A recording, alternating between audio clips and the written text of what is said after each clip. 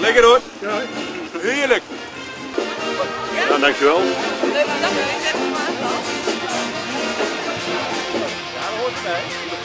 When I grow up, gonna be a star. Gonna sing my songs and play my guitar. I'm ready. Gonna change the world, gonna turn the page. Gonna say what I feel, let out this rage. Get ready.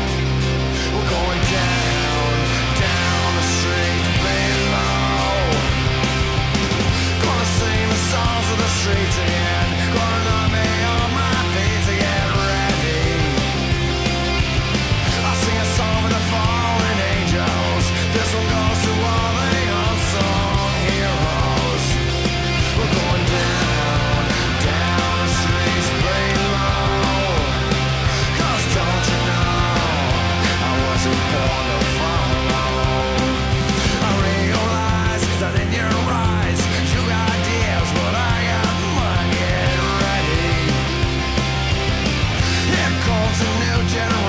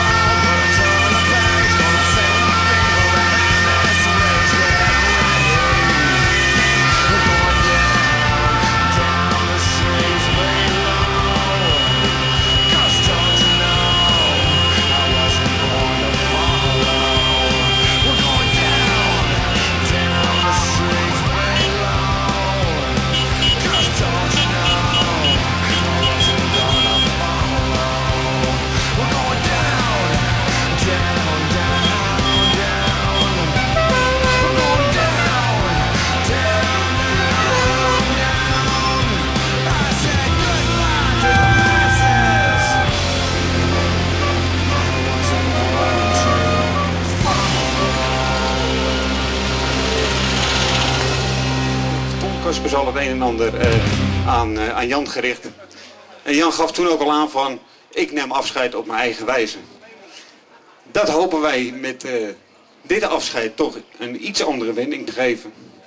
Ik heb eigenlijk al gezegd, het zijn eigenlijk drie periodes. De eerste periode, dat was echt pionieren. En jij was het contact van de politie. De tweede periode werd alles iets zakelijker. Jij ging je inzetten voor sponsoring, want het moest uiteindelijk wel betaald worden. En het kost gewoon ontzaglijk veel geld. En de, de- de derde periode van de oprichting is de oprichting op 12 maart 1999. Bosbloemen, die is er uiteraard voor het hele gezin, maar jij als voorzitter eh, verdient hem, nou volgens mij het uit te treuren. Daarnaast hebben we een cadeau voor je. En als we dan even teruggaan in de historie, dan kan jij dat waarschijnlijk nog wel herinneren. Het was voor mijn tijd.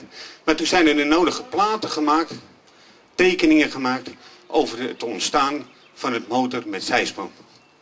En het leek ons een aardige geste om je dat cadeau aan te bieden. En ik hoop dat het een mooi plaatsje krijgt in de Dahliastraat. Alsjeblieft.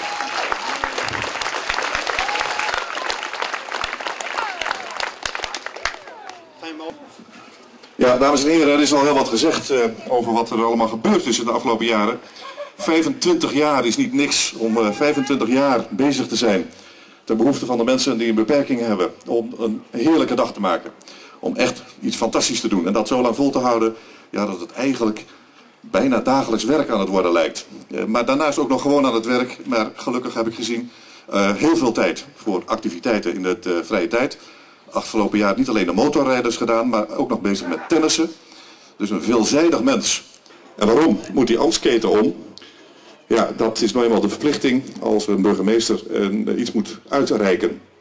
En ik kan, meneer de Ruiter, kan ik u meedelen dat het Hare Majesteit, de koningin, heeft behaagd u te benoemen tot lid in de orde van Oranje Nassau.